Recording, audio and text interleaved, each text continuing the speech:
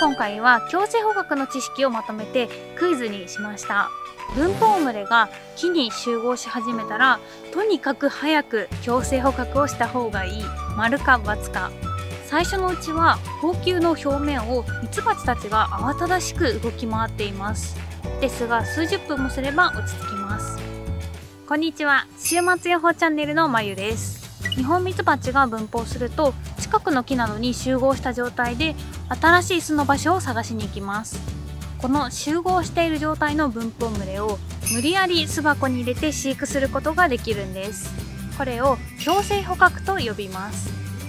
強制捕獲はすでにニホンミツバチを飼育している方が群れを増やすのに有効な方法です。今回は強制捕獲の知識をまとめてクイズにしました。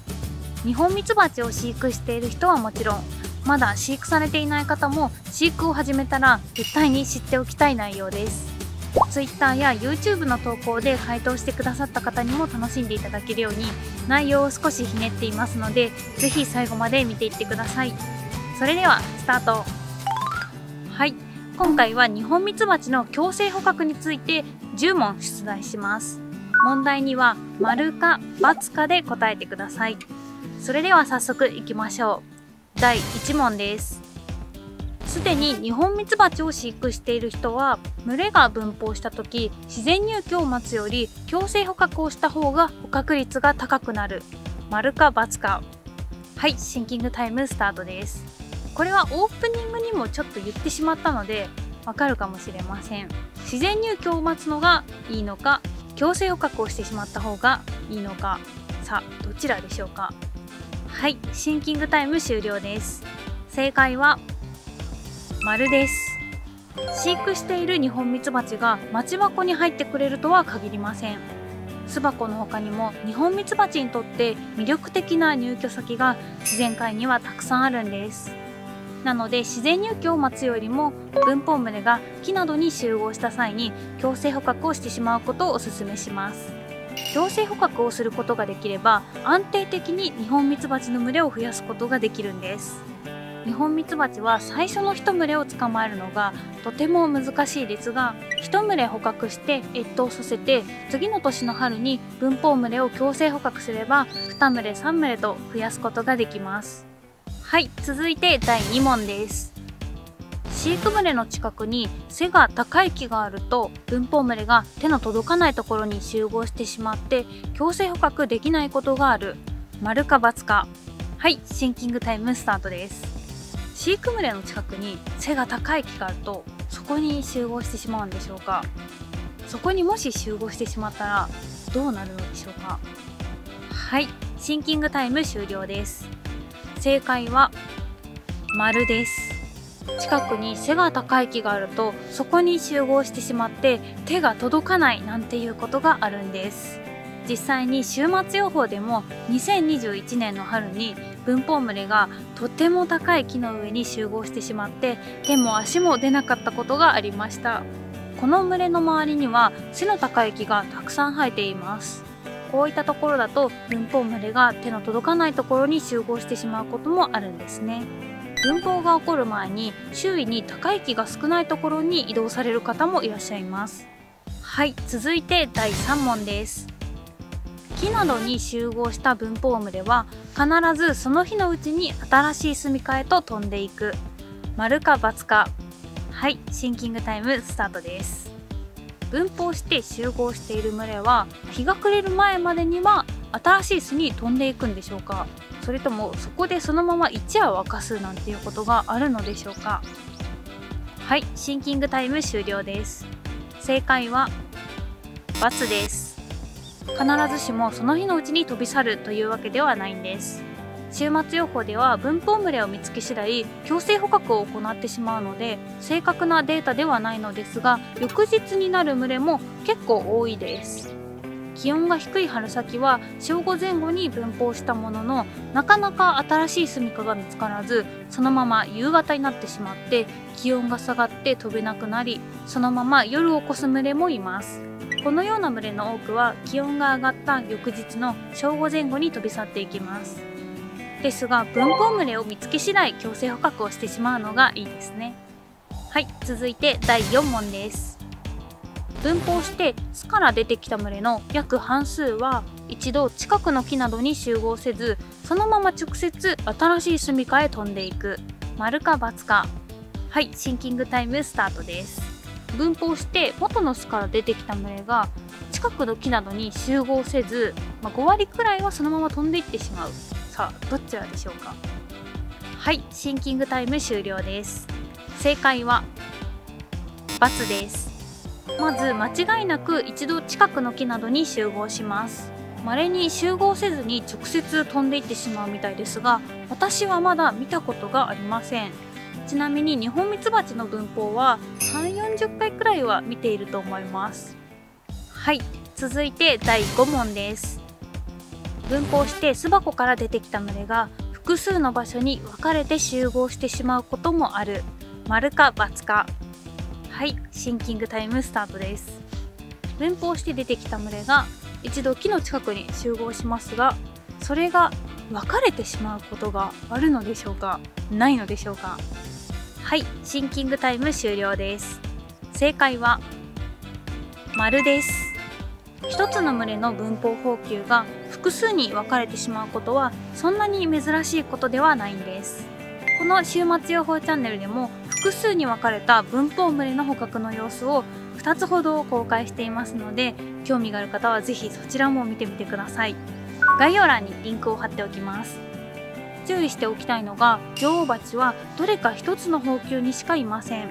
捕獲する時は必ず全ての蜂球を同じ箱に入れるようにしましょう。これを別々の巣箱に入れてしまうと無大群れとなってしまいます。ただ前日に分蜂した群れが集合したまま夜を起こし翌日に次の分蜂群れが出てきて蜂球が2つ並ぶこともあります。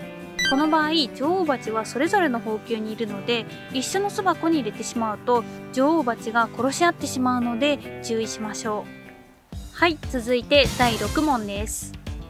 飼育群れの周りに分蜂群れが集合しやすい形状の板を取り付けておくとその板に集合することが多い。丸か×か。はい。シンキングタイムスタートです。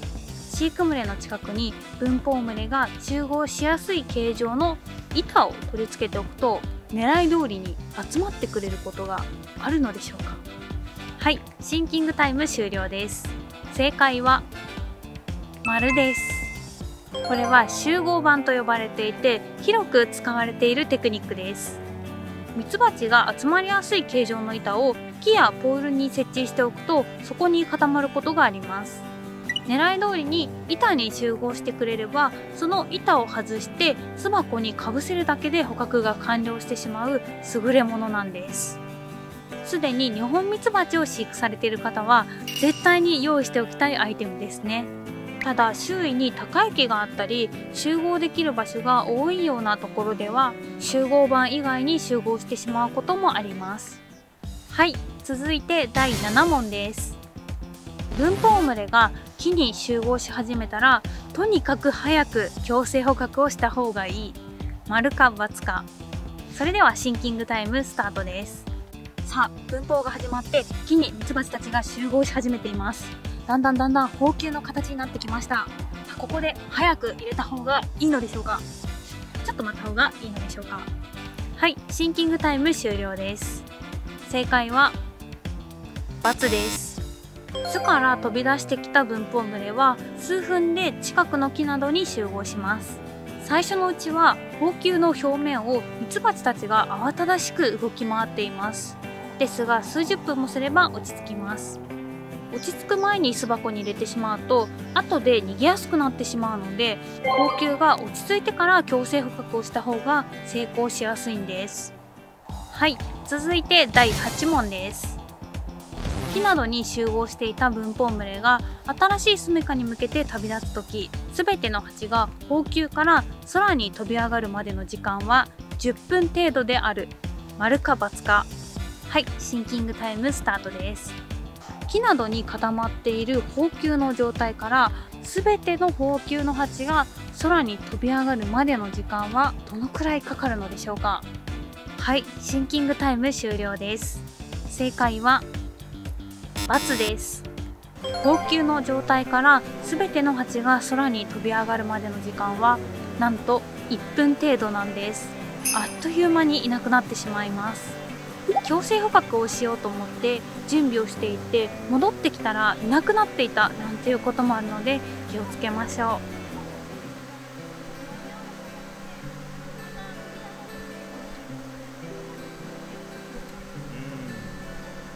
次こそ我が町箱へ。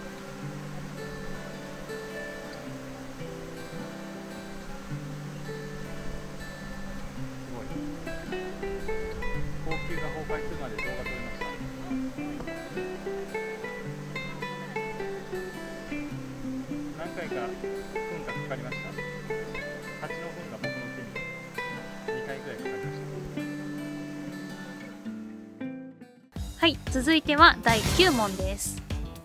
分蜂中のニホンミツバチは普段よりも攻撃的になっており近づいただけでも刺される危険性があるので注意しなければいけない。丸か×か。はいシンキングタイムスタートです。分蜂中のニホンミツバチは普段よりも攻撃的になっているのでしょうか。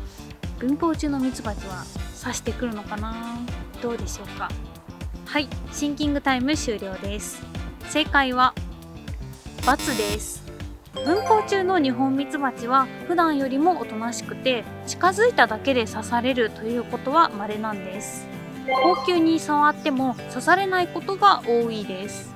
以前に文法法球に触ってみたり頬ずりをしてみた動画もあるので興味がある方は是非見てみてください。ですが刺される危険性もあるので決して真似はしないでくださいね。強制捕獲の作業ではさすがに刺されることも多いので必ず防護服を着用して作業をするようにしましょう。はい。それでは最後の問題。第10問です。強制捕獲をした群れでも捕獲後に逃げてしまうことがある。丸か×か。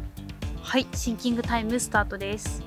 先ほどちょっと何かでちらっと出てきたような気がしますが強制捕獲をした後に群れは逃げてしまうことがあるのでしょうか？はいシンキングタイム終了です。正解は丸なんです。残念ながら強制捕獲をしても逃げてしまう群れがたまにあるんです。ほうきを取り込むタイミングが早かったのと明らかな失敗の場合は気にしないようにしましょう。同じようにやっても逃げる時と逃げない時があります。ニホンミツバチがもっと遠くに巣を作りたかっただけかもしれません。自然入居を待つよりも強制捕獲をした方が捕獲率は高いので恐れずにどんどん強制捕獲をしていきましょう。はい以上がニホンミツバチの強制捕獲に関する知識10問でした。皆さんの成績はいかがでしたでしょうか？前回の文法編や自然入居編と比べると少し難しかったんじゃないかなと思います。Twitter や YouTube の投稿での平均点は80点でした。強制捕獲を考えている方は全問正解を目指したいですね。前回の文法編と自然入居編を見ていない方は概要欄にリンクを貼っておくのでぜひそちらも見てください。今回と同様ニホンミツバチを捕獲するために知っておきたい知識ばかりです。週末予報チャンネルでは文法時期に向けてニホンミツバチの捕獲のコツを発信していきますのでそれを見て一緒に準備していきましょう。はい。最後までご視聴いただきありがとうございました。この後もニホンミツバチの捕獲に関するクイズ動画を出す予定なので興味がある方はチャンネル登録お願いします。この動画が参考になったという方は高評価もお願いします。それではまたお会いしましょう。さようなら